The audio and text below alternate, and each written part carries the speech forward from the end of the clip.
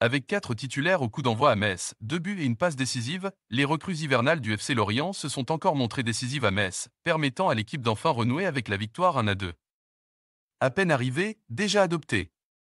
Les recrues hivernales du FC Lorient ne manquent décidément pas leur début avec l'équipe morbianaise. Déjà très impactants il y a une semaine au Moustoir contre le Havre 3 à 3. Avec chacun un but, le milieu de terrain Imran Louza et l'attaquant Mohamed Bamba se sont encore montrés décisifs dimanche à Metz. Le premier comme passeur décisif du deuxième. Qui a ouvert le score pour les Merlus en remportant son duel avec le gardien Okidja 0 à 1, 19 minutes.